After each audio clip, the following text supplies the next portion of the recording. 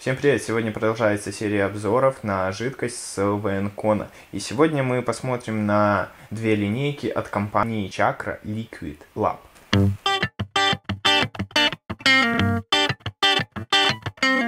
Спасибо компании-производителю Chakra Liquid Lab за предоставление всех своих жидкостей на обзор. Всего у ребят три линейки, одна из семи вкусов, еще одна из двух, еще одна из одного. Сегодня мы рассмотрим три вкуса это две линейки. Ссылки на ребят будут доступны в описании, а также в описании будут... Тайм-коды каждой линейки. Именно. Итак, начнем мы, пожалуй, с... Боаджус.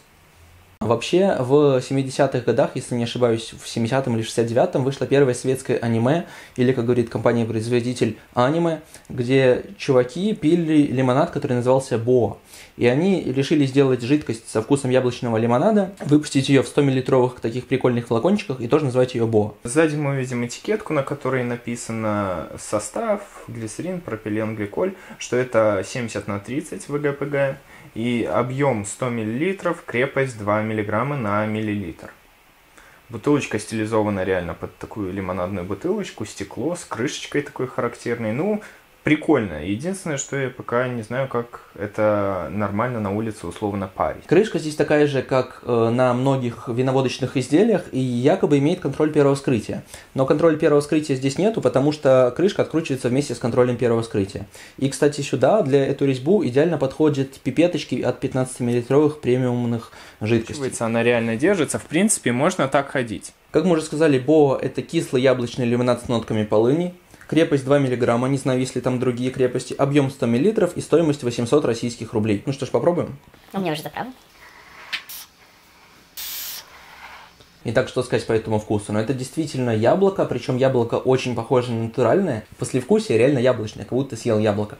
Жидкость действительно кислая и действительно похожа на яблочный такой лимонад. Ну, фиг знает. Я люблю яблоки, реально люблю яблоки, и мне жидкость понравилась. Там, то есть она реально вкусная, такая яблочная. Вот прям самое, что ни на есть яблочное. Такое яблоко яблоком. Хорошее, твердое, сочное, кислое яблоко. С нотками полыни, кстати, да, не без них. Полынь тут присутствует, но очень слабо. Я терпеть не могу полынь.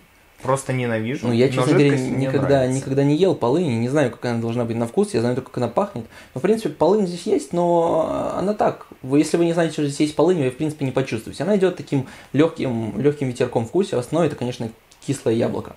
Но жидкость э, явно интересная, подача интересная, жидкость дешевая, Жидкость прикольная, поэтому я, в принципе, буду ее советовать. Сам бы я, наверное, если не купил, ну, исключительно по причине того, что я не люблю яблоки. А так, качество на уровне. Жидкость мягкая, никотин хороший.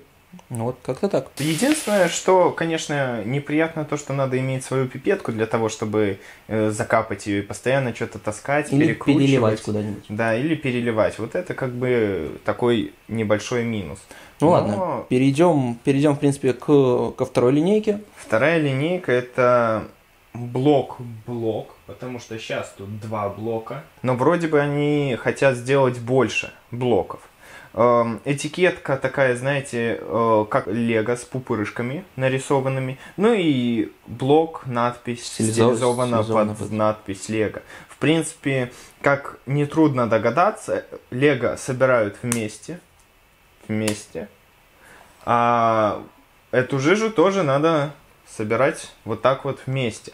Ее, конечно, можно парить по-разному, но, ну... Производители советуют, производитель советует миксовать ее прямо в дрипке. Да. Причем на цену из, э, цена на пак из двух жидкостей дешевле, если не ошибаюсь, на 100 рублей, чем каждый по отдельности покупать. То есть каждая по отдельности стоит 500 рублей, а вместе они за две стоят 900 рублей. Жидкость поставляется в 60-миллилитровом флакончике, есть крепость 0,3, причем крепость отмечена маркером на э, самом э, флаконе, на этикетке, и маркер этот, ну, либо тут не проставлен, либо стерся, но чувствуется, что это тройка. Соотношение пропиленгликоля и глицерина 70 на 30. А, Теперь про сами вкусы. Сами вкусы это не какие-то там минимальные миксы хотя бы или что-то в этом роде. Это фактически сингл вкусы.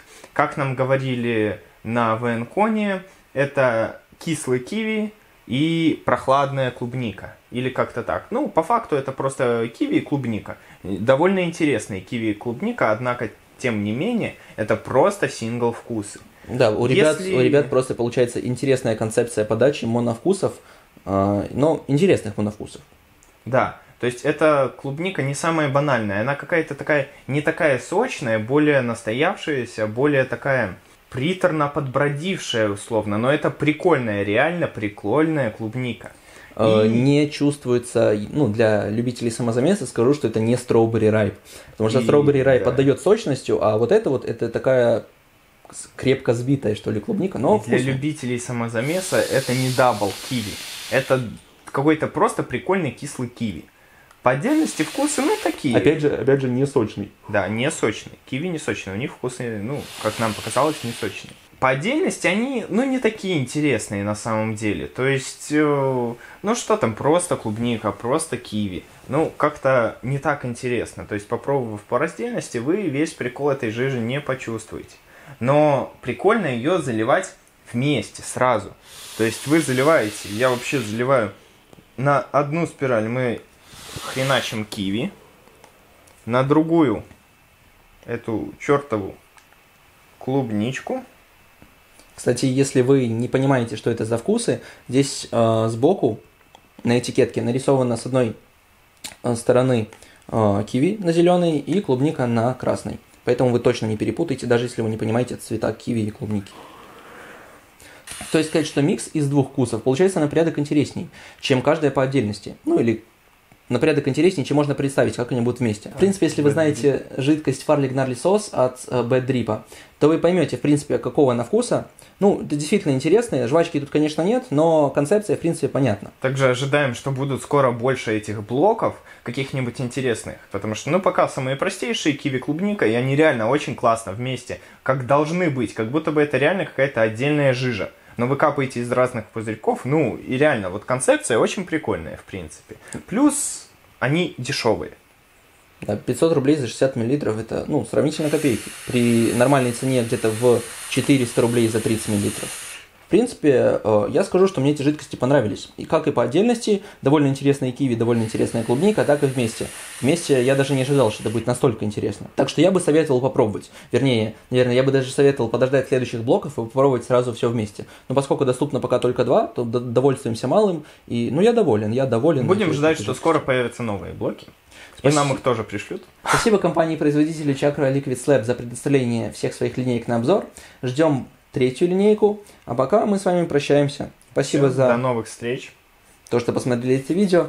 Ставьте лайки. Подписывайтесь на канал, комментируйте. Делитесь с друзьями. Пока.